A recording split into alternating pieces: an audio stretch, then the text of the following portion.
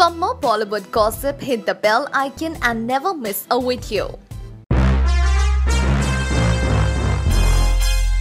Jacqueline Fernandez will soon be recreating the iconic song Ek Do Teen for a sequel dance number in the sequel of Baaghi. Yes, you heard it right. Jackie would be seen grooving to the cult number Ek Do Teen where she will recreate the magic of dancing queen Madhuri Dixit. The original number was choreographed by Saroj Khan and years later, it is Ganesh Acharya who would be choreographing Jacqueline. But do you know that Ganesh Acharya was a backup dancer in the original number and now having him to choreograph the very same number is really great.